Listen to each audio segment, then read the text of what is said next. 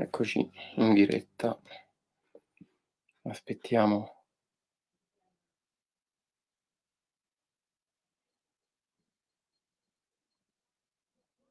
Aspettiamo di vedere che entrano. e cominciamo questa diretta di oggi sulla fotografia.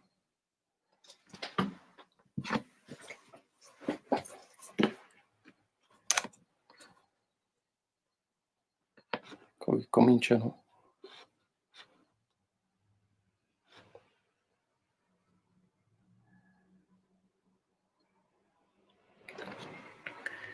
Diamo ancora qualche minuto.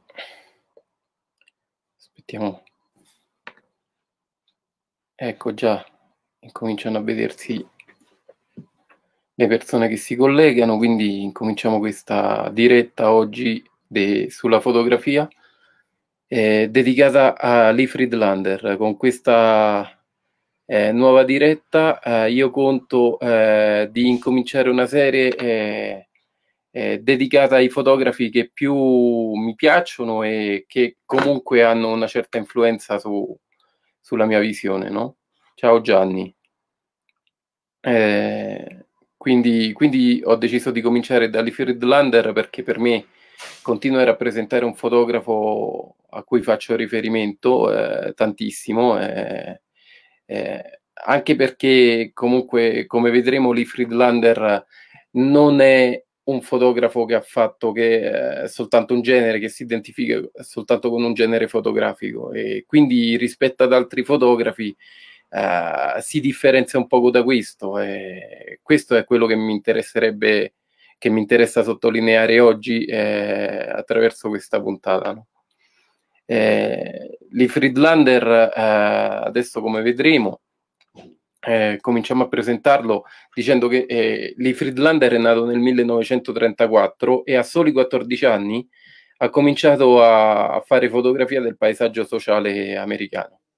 Eh, ha mostrato sin dall'inizio una grande capacità di, di, di offrire eh, tantissime informazioni all'interno delle sue fotografie attraverso composizioni dinamiche eh, è riuscito a, a, realizzare fotografie con uh, immagini divertenti, ma anche mh, eh, toccanti, eh, è riuscito a inquadrare perfettamente quello che era il, il caos della vita cittadina negli Stati Uniti. Um, e, quindi, e quindi poi dopo però ha mostrato di essere un fotografo che ha fatto un po' di tutto, eh, ha fatto fotografia di ritratto, ha fatto fotografia erotica di nudo, eh, e, e, ha fotografato piante, ha fatto un libro di selfie. Eh, lui negli anni 60 cominciò a fare, in, in, un'epoca in cui ovviamente ancora i selfie eh, non erano una, una realtà, eh, negli anni 60 incominciò a farsi dei ritratti e tra l'altro ci stanno anche dei ritratti, degli autoritratti eh, che fanno parte de, delle sue foto più famose di street photography, che vengono comunque definite come street photography, no? E, e poi questa esplorazione su se stesso eh, l'ha recuperata di nuovo eh, alla fine degli anni 90.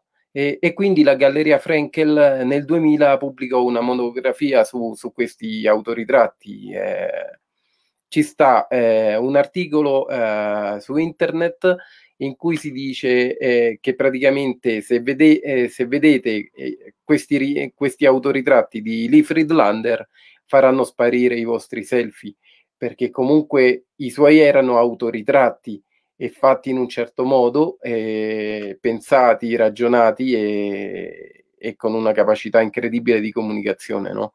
Quindi non il, il selfie tirato lì.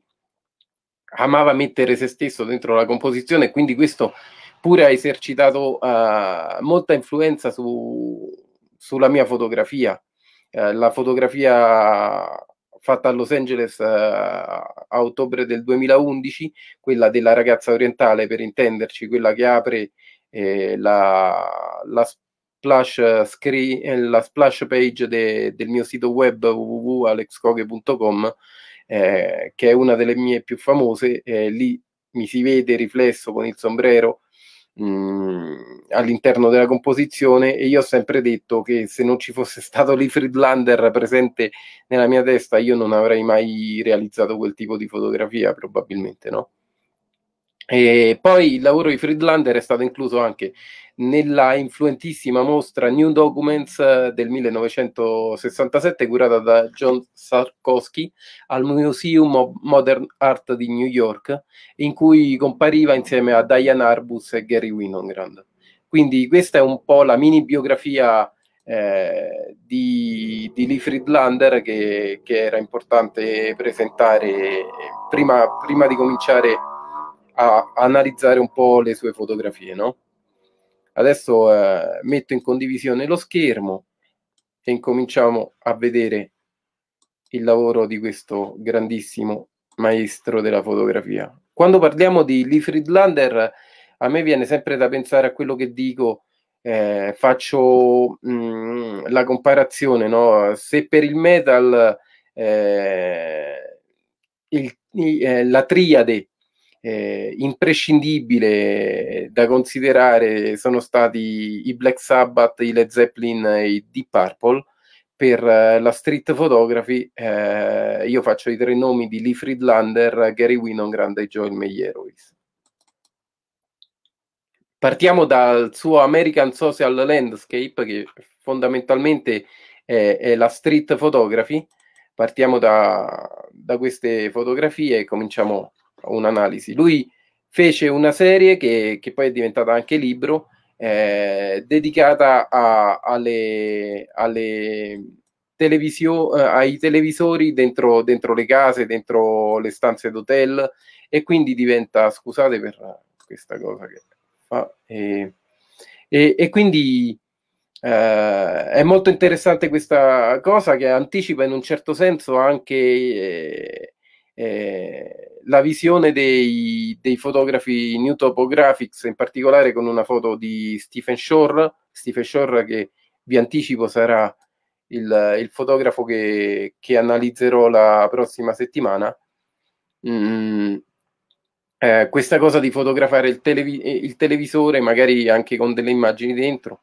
Eh, Stephen Shore ha, ha fotografato eh, un televisore dentro una stanza di albergo e, e comunque eh, Lee Friedlander eh, l'aveva spinta un po' eh, più avanti la cosa, no? nel senso di fotografare anche il contenuto dentro de, di quello che appariva su, sul televisore in quel momento. qui vediamo la composizione che parte da appunto l'oggetto è in posizione centrale eh, e comunque eh, ovviamente la distorsione de, della lente rende un po' le linee un po' storte, quelle, quelle esterne della lampada da una parte e, e, e della porta dall'altra. Eh, ripresa in questo modo, comunque l'impatto va a finire direttamente, chiaramente l'occhio va a finire sul volto de, della donna che compare sul televisore, no? Qui un'altra fotografia in cui eh, c'è un, un uomo eh, durante una trasmissione televisiva, però ci sono tantissimi altri volti ed è una collezione di volti impressionante, no? una composizione pregevolissima in cui eh, oltre al volto sul televisore vediamo i volti nelle foto e vediamo i volti delle, delle piccole statuine, degli angioletti che ci stanno qui eh, e quindi è, è interessante. Qui eh, approfittiamo anche del fatto che c'è anche l'ora mh, sulla sveglia e, e, anche un'altra foto che, che è molto interessante, secondo me, no? Questa è una tipica composizione alla Lee Friedlander, dove praticamente ci stanno tantissimi eh, elementi presenti nella scena. Eh, la scena in cui io riesco a vedere alcuni triangoli, vedo che poi ritorneranno in un'altra, eh, in un'altra fotografia. Eh, vedo de, comunque riesco a, a vedere un, un, un certo ordine nella fotografia. Io potrei suddividere eh, la fotografia in, in, un certo modo, eh, il palo in mezzo è ecco un'altra cosa che, che, che esercita su di me un, una importanza, va a dividere eh, il frame in un certo modo, la, la signora è, è sta è, uh, incastonata perfettamente sulla parte di sinistra, e poi vabbè c'è, c'è questo edificio qui, e poi ci sta la ruota panoramica, uh, il, uh, il, cartellone con la scritta Coca-Cola, uh, Ocean World.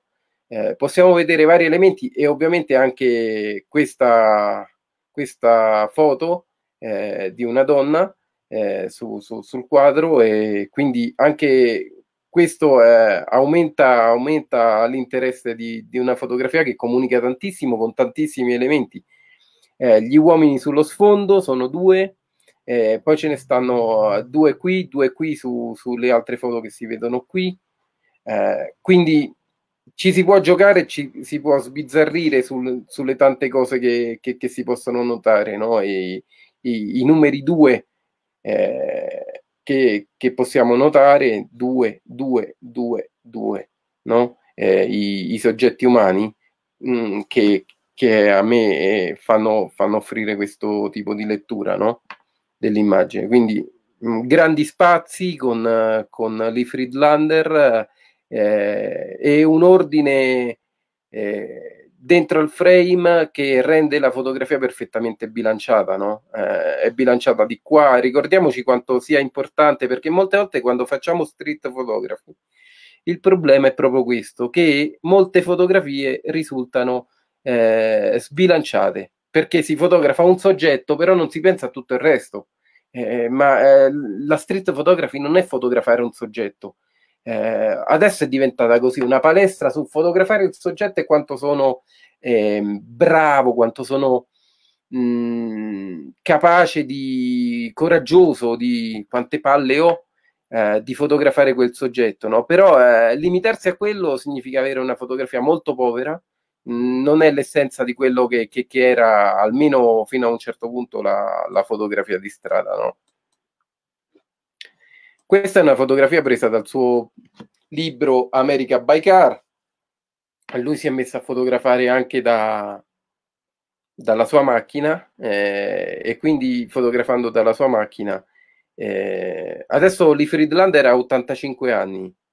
Eh, da, da, molto tempo si trova in una condizione, sta sulla sedia a rotelle. Lui adesso, quando fotografa, fotografa o quando eh, gira con la sua auto o eh, quando, quando, si trova nel giardino di casa, fa il giro della casa, intorno alla casa e quindi fotografa anche molte piante, le piante del suo giardino. Si è fatto un autoritratto in cui lui emerge da, da tutte le, le, piante che ci stanno no, ne, nel giardino della sua abitazione, no? della sua casa. E, e, e, in questo caso vediamo comunque di nuovo emerge questo, questo cartellone Enjoy Coca-Cola, varie scritte qui e commerciali e, e, tutto il caos urbano che Lee Friedlander ci ha insegnato essere uno dei punti, dei temi principali della sua ricerca visuale. No? Qui ne vediamo un'altra con molti elementi, un pezzo di macchina eh, un cane, mh, mm, tra l'altro, eh, in parte eh, coperto da un palo, molti pali. Eh, ecco questa cosa che ritorna, no? Eh, come, come l'altra volta abbiamo analizzato un po' la mia fotografia, eh, quanto i pali aiutano a, a definire anche le dimensioni e, e, il senso di profondità di un'immagine, no?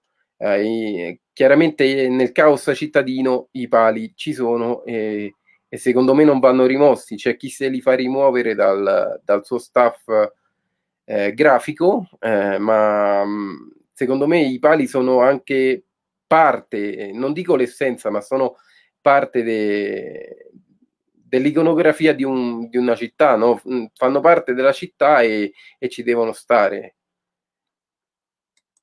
soprattutto se fai scene così ampie, qui tra l'altro vedete eh, ritorna di nuovo il senso no, di come si bilancia una immagine con un pezzo di macchina qui e la macchina da questa parte. Cioè, mh, mm, senza la macchina qui probabilmente o senza la macchina qui eh, parleremo di un'immagine eh, che in quella parte sarebbe eh, noiosa e quindi è una parte negativa in cui non c'è niente di interessante, no? mentre invece in questo modo con le due macchine messe agli estremi uh, risulta interessante. Un autoritratto eh, di, Gary, eh, di Lee Friedlander eh, e, e, e, vediamo comunque quando, quando, facciamo foto di questo tipo eh, dovremo analizzare sempre, dovremo pensare come se stessimo fotografando eh, in, in doppia esposizione. E quindi questo dovrebbe essere sempre fatto quando fotografiamo, osservare tutto quello che c'è possibilmente, no? E quello che sta passando e, e quindi lui ovviamente io mi immagino che avrà anche aspettato che il soggetto camminasse per scattare questa immagine, per dare ancora più dimensione e corpo a, all'immagine. Ancora una volta, togliendo questo soggetto, sarebbe meno interessante la, la fotografia. No? Poi c'è questo mondo interno ed esterno che continua ad esercitare un, una forza interessante all'interno di composizioni di questo tipo. No? Qui uh, c'è un evento di cui non conosco uh, bene, credo che sia una manifestazione, da come si può vedere, eh, fotografato un po' dall'alto e tra l'altro in una zona in cui c'è una curva, eh, ci stanno tante persone in strada, c'è la polizia, eh, ci stanno uomini che si stanno muovendo, uh, uno che sembra ballare. Eh, e comunque quando fotografiamo in questo modo dobbiamo uh, sempre stare attenti uh, a, um, ai livelli in cui riusciamo a ottenere determinate Ehm, determinato dinamismo anche eh, dell'immagine a non dare un'idea come se, se, fosse scattata da Google Maps, ma al contrario come se fosse una fotografia in cui poi comunque qui si vede come un ovale, tra l'altro, che diventa il centro uh, di attenzione no? dell'immagine. Eh, vedete come tutto uh, funziona alla perfezione, le linee che ci guidano fino a qui, eh, gli elementi sullo sfondo che fanno gli elementi sullo sfondo arrivando fino a qui da cornice, tutto diventa una cornice per il cerchio ovale che sta qui, fino ad arrivare ai cerchi in mezzo che sono dati da, dagli ombrelli, no?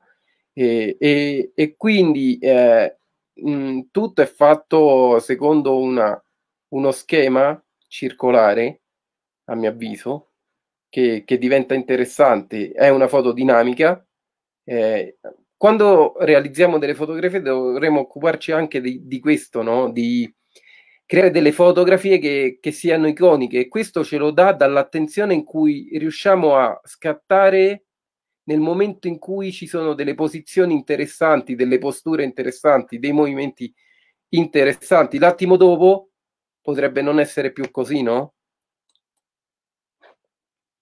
Ecco un'altra fotografia scattata un po' più in, epoca moderna eh, rispetto a quelle di prima, eh, con HM. Eh, la donna ovviamente diventa il, la parte che eh, richiama più l'attenzione in uh, questa fotografia. Ancora si vedono pali che vanno a dividere di nuovo la composizione con linee all'interno dell'immagine. No? Quindi non sono segni di distrazione, come qualcuno dice, ah, il palo è la morte della fotografia, come ho letto da qualche parte. Questa è una delle immagini più celebri, entrata e uscita uh, da, da, un luogo che ha questa porta girevole e, e poi eh, nel mezzo c'è anche il riflesso, è fantastico l'uomo che spunta qui nel mezzo, no? Quindi eh, diventa anche interessante questa, questa parte. Il frame è diviso eh, ovviamente da linee che continuano, vedete quante linee ci stanno all'interno del frame. Io ogni tanto ritorno a, a voi per vedere se mi commentate. Mi ricordano qualcuno tutti sti pali, eh sì, Agnese.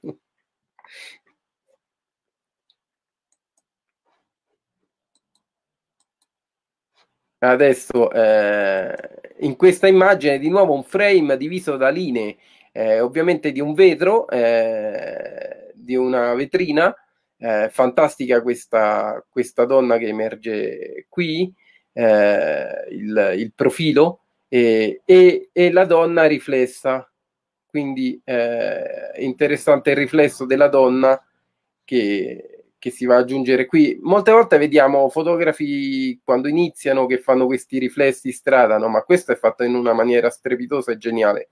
Poi comunque il frame ha un rigore formale incredibile eh, con la macchina in questa parte che comunque questo è un rettangolo nella parte superiore di sinistra è un rettangolo che è una foto nella foto diventa, no? è una foto interessante anche eh, un, una parte, una sezione della foto che, che, che, è anche una scena che la vita uh, scorre da, dall'altra parte della strada e, e, e, crea una composizione comunque dinamica, no?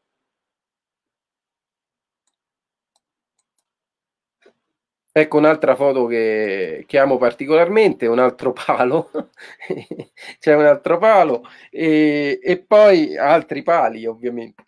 E, e, poi c'è una donna, credo che sia all'inizio di una, di, un, di una parata, di una parade, di una parata, e quindi c'è una performer, eh, ci stanno tutte le persone che stanno guardando, assistendo i ragazzi eh, qui, e poi, e poi la polizia eh, che sta eh, controllando, no? Eh, quindi mh, mm, eh, è una fotografia mm, secondo me interessante. Qualcuno direbbe che questa parte qui magari è meno interessante, ma secondo me fa da...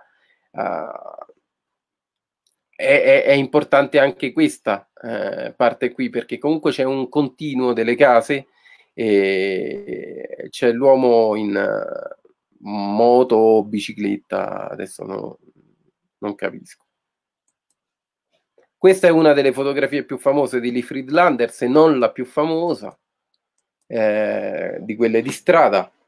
Il cono gelato, eh, non so perché richiama questa idea del cono, no? la nuvoletta sopra con le tre palline del gelato e il, eh, triangolo è, richiama un po'. Però questa fotografia è straordinaria per altre cose. Eh, la fotografia presenta vari triangoli eh, sull'asfalto ovviamente l'ombra del, de, de, del segnale, eh, però io vedo altri eh, triangoli, ne vedo uno qui sulla destra che va praticamente a dare la dimensione, ne vedo uno qui che taglia, che passa nella parte della roulotte, arriva fino all'auto bianca e poi arriva nell'altra parte del, del frame su, sulla parte bassa a sinistra, no? Eh, quindi mh, mm, tutto, tutto è molto ben organizzato, ben visto, o meglio, ben visto, e l'equazione visuale funziona perfettamente a mio avviso, no? Eh, la roulotte è posizionata sotto un albero, l'altra macchina è posizionata sotto agli al- alla serie di alberi lì eh, e quindi eh, e, mh, mm, al punto centrale c'è il triangolo, poi eh, c'è la casa che mi fa vedere altri triangoli, ma eh, sarò pazzo, eh, ma io vedo eh, forme su forme, finestre e quant'altro che, che, che mi fanno pensare molto, no? E, e, mi piacerebbe scomporla. Io sempre amo fare queste scomposizioni, tirare, tirare linee Sempre molto dinamismo nelle foto di lì. Sì, Enzo, hai ragione. Ma infatti, se non sbaglio, Alex Webb stesso dice che Friedlander è tra i fotografi che lo hanno influenzato. Sì. Anche il tetto della casa, esatto, anche il tetto della casa, infatti, sì. È un altro triangolo, sì. E, e, quindi sì, eh, composizioni molto dinamiche, nonostante facesse molto quello che io chiamo paesaggio sociale, no? Perché rispetto ad altri fotografi adesso di street uh, che puntano ad altri modi di, di, formare dinamismo, qui il dinamismo era dettato proprio dalla composizione, eh, arrivava proprio dalla composizione, no? Eh, quindi eh, un gran lavoro come, come fotografo di strada eh, e non è un caso che sia riconosciuto come maestro.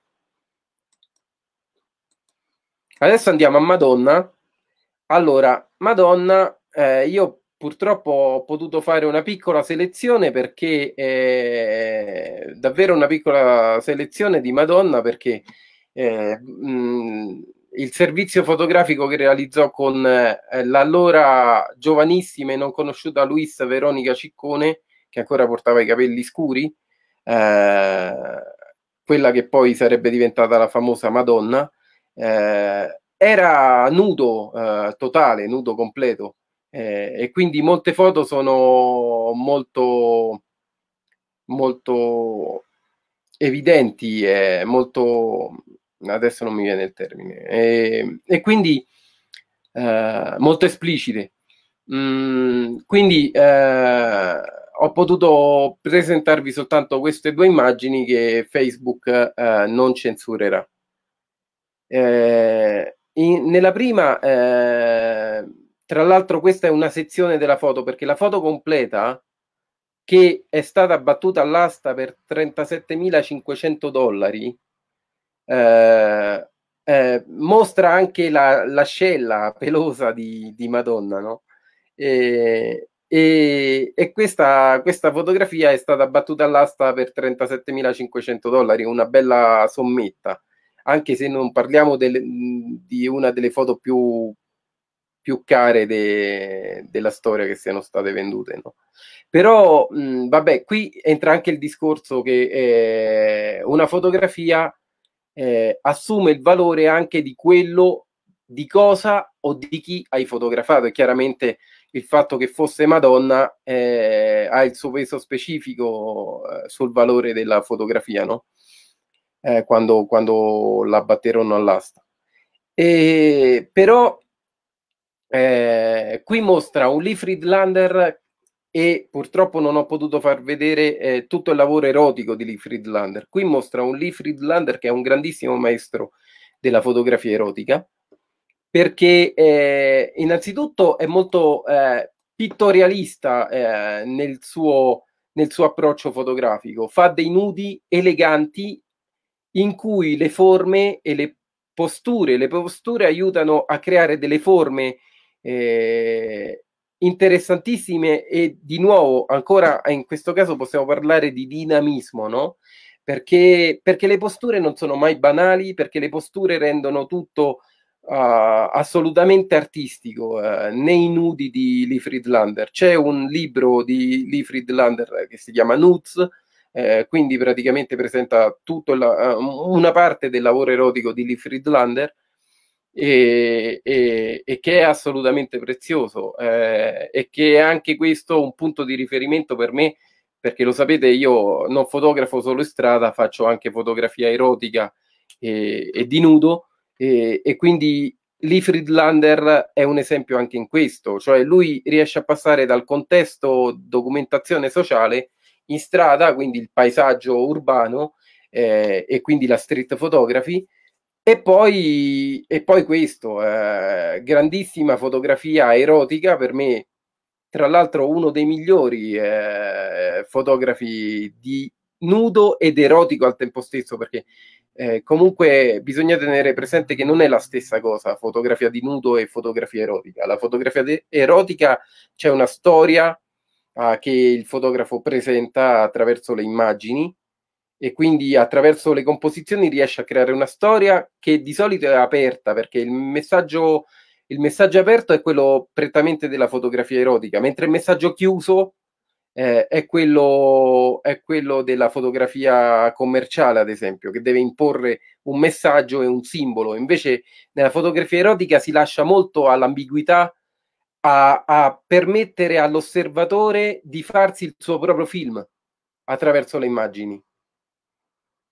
Mentre invece la fotografia di nudo a volte è soltanto eh, puro estetismo di forme e, e si concentra molto sul corpo, ma non vuole presentare la storia. Quindi c'è una bella differenza tra fotografia di nudo e fotografia, di, di eh, eh, fotografia erotica, anche nell'approccio in cui eh, si, si, realizzano le fotografie, no? Vediamo. Ok. Una curiosità, ma perché è importante vedere i triangoli in una foto? non è importante vedere i triangoli in una foto, è, è che mh, mm, eh, nelle forme geometriche io riesco a, a, a trovare comunque uh, un perché di, di, come ho composto eh, la fotografia. Non è importante trovare i triangoli nelle foto, eh, è comunque avere un frame che è perfettamente bilanciato poi alla fine, no? Eh, mh, mm, oppure ad esempio la posizione di, di, determinate cose che mi vanno a, creare, de- non è importante i triangoli, possono essere quadrati, possono essere qualunque cosa. Eh, è importante, è importante mh, mm, comunque riuscire a trovare un ordine o comunque come, come un fotografo riesce a risolvere l'equazione visuale all'interno di un... Per qualcuno possono essere importanti i triangoli, per altri altre cose no. Però questo è quello che io leggo di, di Lee Friedlander, soprattutto in quell'immagine. Vedo molti triangoli. Non è importante la foto perché ha i triangoli. La foto è importante perché comunque presenta un momento, eh, secondo me, interessante perché ha visto, ha visto comunque quel cono gelato, ha visto le, le, le nuvole perfettamente adagiate su quel palo, eh, segnale, eh, su quel segnale. Eh, e quindi quelle sono le cose importanti. Poi dopo ci si gioca anche su, su altre cose, sulle linee. Io tiro delle linee che, che sono completamente fuori da, dalle regole, quelle classiche delle regole dei terzi e tutto il resto, no? Eh, perché comunque mi aiutano poi a, ad evidenziare quello che io volevo mostrare. E quindi questo è quello che io uh, voglio proporre eh, come, come tipo di lettura bello vedere ciò che gli altri non vedono. Sì, è, è per questo credo che siano interessanti queste, queste dirette, no? Perché poi io non ho assolutamente la, pres- la presunzione che le mie letture siano la scienza nel modo più assoluto. Quello che vedo io magari non è visto assolutamente da un altro, no?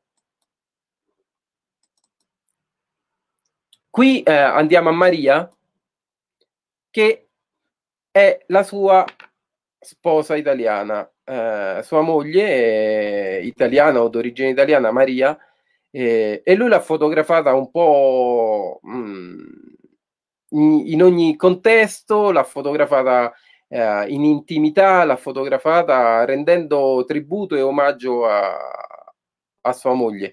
E questa è una cosa che anche mm, mi esercita in me un, un forte fascino perché io eh, cerco di, di, fotografare mia moglie Carmen eh, il più possibile, anche se lei è, è abbastanza restia a farsi fotografare, no? Eh, però a volte accetta e, e quando accetta eh, la cosa diventa per me divertente perché comunque si dice fotografa ciò che ami e io eh, la cosa che più amo al mondo è mia moglie, no?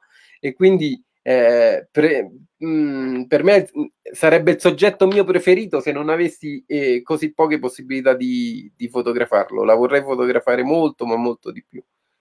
Eh, e non è detto che in futuro non, non lo farò. Eh.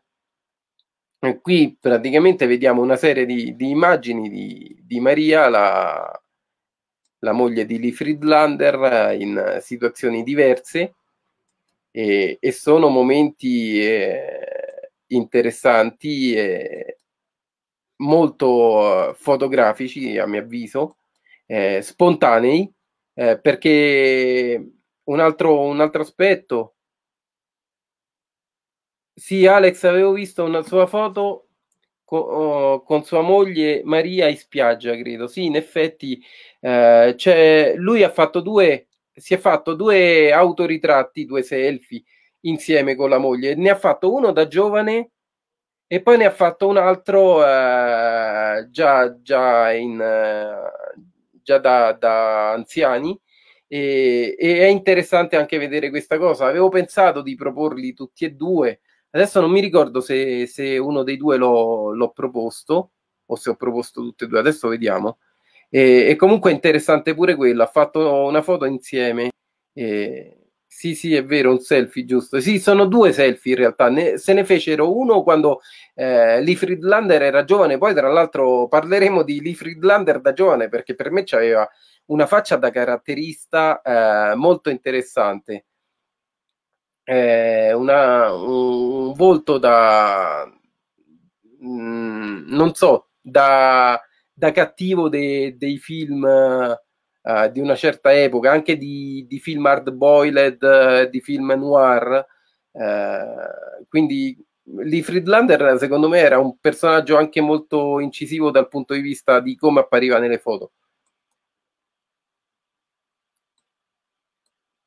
Ecco qui la foto da giovani. Eccoli Friedlander con sua moglie Maria eh, era la foto di cui parlavamo, eh, forse quella in spiaggia non lo so se è l'altra, o forse se ne sono fatte altre. E qui eh, con i figli, eh, sempre Maria eh, al centro de dell'immagine, e quindi vediamo anche questa foto, momenti del quotidiano che lui ha potuto realizzare di, di sua moglie, no? Ok. E adesso passiamo all'ultima, all'ultima parte, le selfie. Le selfie che sono fatte molte utilizzando i riflessi in strada e, e vediamo, vediamo questa fotografia qui Uh, in cui eh, vedete comunque c'è sempre un uh, a parte le linee che vediamo de, degli edifici che creano comunque una sorta di, di, di, di forma di comporre moltissime linee che creano alla fine come una textura no? eh, all'interno dell'immagine poi ci stanno dei personaggi uh, che si vedono, eh, c'è un'ombra di un, di un uomo e, e, poi ovviamente c'è, c'è lui che si è fatto lo scatto. Ancora un'altra foto.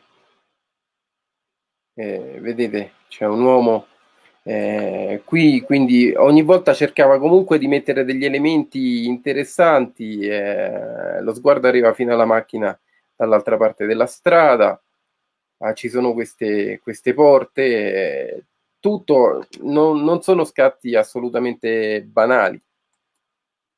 Eccoli Friedlander già in età più, più avanzata e ci stanno varie immagini a, alla parete e, e, quindi potete osservare eh, un po' un modo di raccontarsi, no? Questa è un'altra immagine con Lee Friedlander e questa è quella a cui mi riferisco quando lui qui sembra una scena assolutamente cinematografica, cinematica, eh, e, quindi, e, quindi, possiamo immaginare questa in questa fotografia c'è tutta una storia eh, dentro, no? E, e, e, possiamo immaginare addirittura l'inizio di un film, la fine di un film. Eh, c'è il paesaggio dietro, l'uomo che sta abbandonando il, il, la città, sta lasciando la città, quindi può essere l'inizio o, o, o, la fine di un film.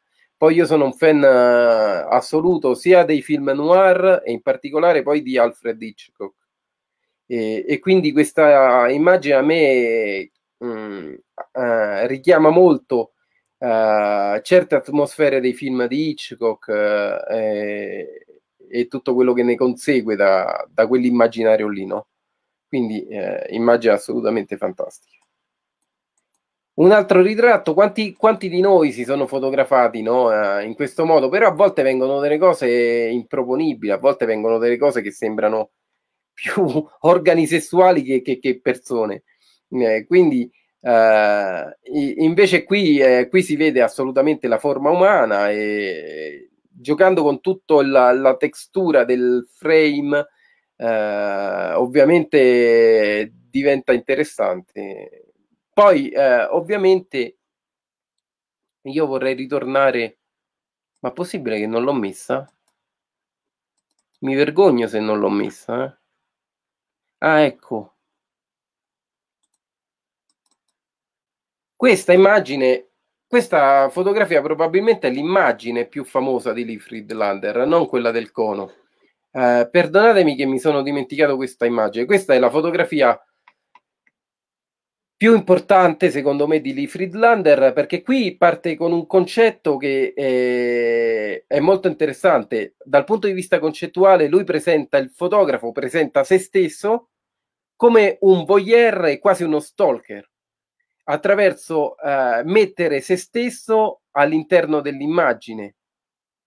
Mm, poi eh, mi, adesso che mi ricordo ho dimenticato un'altra foto de, uh, che è un selfie mh, mm, fantastico in cui, in cui lui uh, purtroppo sono tantissime le immagini di Lee Friedlander ma adesso la cerco su internet um, in questo caso uh, tra l'altro il collo della pelliccia della signora davanti eh, della donna davanti fa venire i capelli un po' a, a spina di Lee Friedlander, quindi diventa anche divertente da quel punto di vista. Il frame poi è diviso fondamentalmente in due parti in cui c'è la parte dinamica uh, che diventa, a parte la riflessione sullo stalker, sul fotografo che ha, ha seguito e, e ha, ha, fatto questa foto, e sfido di voi quanti tra voi fotografi di strada hanno tentato di replicare questa, questa fotografia, tantissimi, perché è una delle più iconiche di tutta la storia della street photography, no? E sulla parte destra vediamo il dinamismo offerto dalle macchine che stanno eh, muovendosi e stanno facendo la curva. E quindi quella, quel, quell'atto di fare la curva delle auto eh, che vengono incontro eh, offre il dinamismo urbano mh, mm, all'intera scena, no? E quindi è, è incredibile e fantastica. Voglio chiudere con una che, eh, perdonatemi, ma qui non l'ho messa. Eh, un attimo, eh. Allora.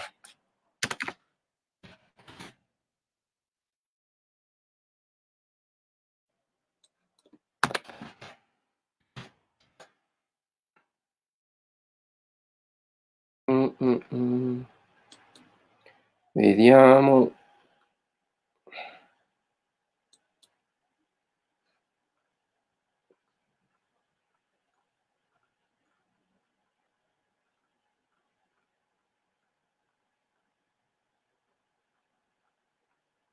Eccola. Questa che vediamo qui è una fotografia, a mio avviso, pazzesca. Una fotografia fatta con fotocamera ovviamente analogica. In quel periodo eh, lui è sfocato in primo piano e diventa il protagonista della, della scena, di nuovo divisa a metà e quindi può fare da contraltare all'altra e a perfettamente, lui sta dalla parte sinistra esattamente come nell'altra, ma ovviamente qui vediamo il volto di Lee Friedlander, si è scattato questa foto e da questa parte c'è tutto il dinamismo delle persone che stanno camminando attraversando la strada e più c'è la, la donna qui eh, che tra l'altro con i capelli richiama un po' eh, la bionda de, de, del primo scatto e, e quindi eh, questa è una fotografia a mio avviso incredibile perché eh, autoritratti sì, ma fatti in analogico, fatti con tutta un'altra eh, cultura dietro. Non... Adesso tutti si fanno i selfie, eh, un, un, prima no. E, e, sebbene abbiamo visto che anche Vivian Mayer amava farsi selfie e, altre, e, altri fotografi, comunque sia, eh, abbiamo visto che, che, che Mm, mm, non, non, tutti i fotografi erano predisposti mentalmente a, a, far comparire loro stessi. Abbiamo visto fotografi come Henri Cartier-Bresson pure che hanno fatto autoritratti di loro stessi, e appunto la citata Vivian Mayer, però mh, di solito, di solito uh, quel periodo non, non si pensava a fare, soprattutto fare il selfie, perché ricordiamo che l'autoritratto eh, è un conto, eh, l'autoritratto è un conto eh, e il selfie è un'altra cosa perché il selfie si può fare fino a dove ti arrivano eh, mh, le braccia. Quindi praticamente si utilizza la fotocamera uh, uh, e facendo il selfie eh, eh, fino a dove arrivano le braccia, no? Eh, però uh, il self port- eh, l'autoritratto invece predisponi la fotocamera, ti fai lo scatto, la programmi e, e ti fai lo scatto.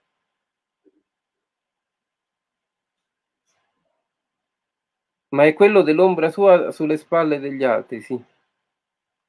Bruce Gilden l'avrebbe fotografato, non credi? Ah, sì, sì, come soggetto, sì come soggetto sicuramente sì, eh, ma secondo me infatti avrebbe fotografato eh, di, diversi fotografi Bruce Gilden, perché anche, anche Gary Winogrand sicuramente sarebbe stato un altro soggetto da fotografare, eh, a mio avviso, non so, Nan Goldin anche, no? E, e quindi, ok, eh, sì, eh, praticamente questa è una foto che per me è, è assolutamente fantastica. Ecco perché io eh, non prendo posizioni rispetto a quello che fanno molti fotografi eh, che sono contro i selfie. Il selfie di per sé non è nulla di malvagio, non c'è niente, dipende come lo fai. Eh, esattamente come, come, ogni fotografia, eh, dipende chi la fa, dipende come la fa e dipende il valore della fotografia. Quindi una selfie di per sé non è la serie B o la serie Z da, della fotografia. Certo, se fai un, un selfie al bagno eh, facendo la bocca a papera, eh, quello eh, non è un selfie, quella, cioè è un selfie ma è una schifezza. Ah, comunque è una schifezza, ma sempre dipende il contesto, sempre dipende chi lo fa e come lo fa quindi non, non, bisogna parlare male dei selfie o parlare male di, di, autori, di autoritratti, no? Eh, dipende sempre che cosa è. Eh, Nan Goldin ha basato la sua vita nel farsi, la sua vita di fotografa nel farsi i ritratti, quindi eh, e ce ne stanno tante altre di persone che, che hanno fatto una carriera facendo ritratti. Magari potrebbe essere il tema di una puntata speciale su, su chi si è fatto i ritratti e, e, e attraverso quelli ci stanno anche fotografe mh, mm, molto famose che hanno fatto dei, mh, degli autoritratti che sono stati valutati tantissimi, sono tra le foto più care. Poi, poi ne riparleremo di questo, eh, sicuramente. E quindi, quindi eh, questa è stata la, la presentazione di, adesso io eh, rimuovo la condivisione. Ok. E torniamo a noi. Questa è stata la, la puntata di oggi dedicata a un grandissimo della, della fotografia che è Lee Friedlander. Io spero che vi sia piaciuta la mia modesta interpretazione dei suoi scatti. È, è un fotografo che amo tantissimo e, e, e, e sento che, che, che non, le parole non riescono a, a a, a, rendere giustizia a un fotografo così importante, almeno per quello che, che, che continua a dare alla fotografia eh, e, e, e, quindi come punto di riferimento almeno per, per un certo tipo di, di fotografi. No? Eh, io credo che Lee Friedlander sia riconosciuto come maestro da, dalla maggior parte degli street photographers eh, a livello mondiale. Eh, non possiamo non tenere conto di nomi come Lee Friedlander, Joel Meyerowitz, Gary Winogrand. Eh, questi sono i nomi eh, più importanti. Quindi. Adesso eh, la prossima puntata eh, sarà dedicata a grazie a tutti voi. Ehm, ci stanno salutando gli amici Gianni, Enzo. e io credo che la prossima puntata, appunto, eh, vi ho anticipato che sarà dedicata a un mio mito assoluto, forse il mio fotografo preferito, anche se è sempre difficile dire eh, chi sia il, il, mio fotografo preferito, però comunque Stephen Shore sicuramente rappresenta uh, un pezzo importante per me e, e, e, non solo per me, e quindi eh, mi, onor- mi, onorerò di, di fargli il giusto tributo attraverso una, un'altra semplice lettura delle, delle immagini. No? Eh, l'ultima cosa, prima di salutarci, eh, che volevo dirvi è che questa settimana ha fatto il suo debutto della mia nuova rivista Snapshot, eh, la sì, Grande Shore Massimiliano. Esatto. E ha fatto il suo debutto Snapshot, la nuova rivista di street photography, in cui presentiamo attraverso pochissime immagini ogni fotografo, quindi una rivista corale, un po' quello che era all'inizio il mio The Street Photographer Notebook. Quindi abbiamo ripreso un po' l'approccio iniziale di The Street Photographer Notebook, però come sapete The Street Photographer Notebook si propone di pagare i fotografi, quindi ne posso mettere ormai soltanto al massimo due per ogni numero eh, e quindi eh, per snapshot invece, eh, essendo corale, non, non, paghiamo i fotografi, però li ricompensiamo attraverso una pubblicazione che poi può essere anche il trampolino di lancio verso eh, The Street Photographer Notebook e altre avventure editoriali. No? E, e quindi eh, con Snapshot adesso già ieri abbiamo venduto eh, un paio di copie, eh, la gente è contenta, eh, i fotografi sono contentissimi, i miei clienti anche, perché comunque sto proponendo una nuova rivista, è una faticaccia perché eh, faccio The Street Photographer Notebook ogni mese e quindi si aggiunge ogni mese anche Snapshot, ma questo è l'impegno mio eh, per offrire qualcosa in più ai fotografi. Eh, ci tengo a questa cosa, realizzare qualcosa fatto dal punto di vista di un fotografo professionista. E quindi, cioè, la mia rivista magari sarà meno laccata a livello eh, di layout, meno precisa. Noi non abbiamo un sito mh, mm, eh, eh, dedicato alla rivista, ma si appoggia al sito www.alexcoche.com. Ma comunque eh, in questo modo io riesco a fare una, foto, un, una fotorivista, una rivista fotografica eh, che offre spazio non ai soliti prezzemolini, eh, non a quelli che stanno un po' dappertutto e parteci- partecipano sempre alle solite cose, ma a quelli che secondo me meritano di essere visti. Eh, e, quindi, e, quindi, anche nomi che, che molti non propongono in, in altri contesti, no? eh, ma ovviamente anche i prezzemolini, se vogliono, sono benvenuti a partecipare. E tanto poi io valuterò le immagini, non è che valuto i nomi. Uh, il nome per me conta poco, conta l'immagine, cioè il nome affiancato all'immagine, quindi uh, cerchiamo di dare questo ai nostri lettori, ai nostri fotografi. Uh, avremo modo di riparlare anche di Snapshot perché adesso è, un progetto editoriale che è appena iniziato, che comunque eh, sento, sento l'entusiasmo de, del battesimo, sento l'entusiasmo di tutti quelli che già mi stanno facendo i complimenti, eh, la rivista è apprezzata mh, mm, e questo è soltanto il primo numero, migliorerà sicuramente nel futuro, eh, però intanto andiamo avanti così.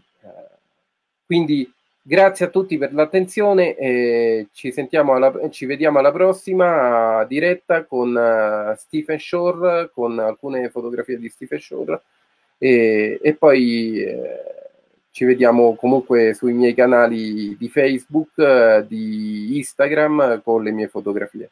Ciao a tutti.